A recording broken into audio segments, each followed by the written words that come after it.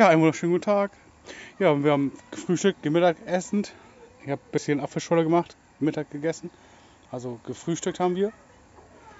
Und äh, ich hab, wollte jetzt Apfelschorle machen, oder ich habe Apfelschorle gemacht in der Air-Flasche. Ein bisschen aufgefüllt, also ein bisschen Apfelschorle oben mit Wasser gefüllt, ein bisschen gemischt, wenn es nicht zu süß ist.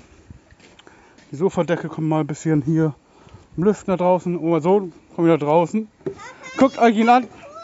Ist die kleine Meerjungfrau auf unseren Donutring und unsere rote Hänge Wasser, Wasserluftmatratze.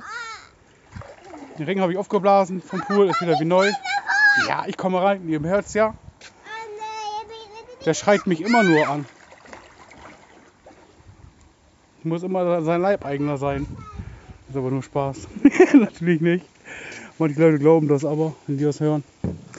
Aber naja, ist deren Problem. Dabei sind die alle ganz schlau. Alles klar.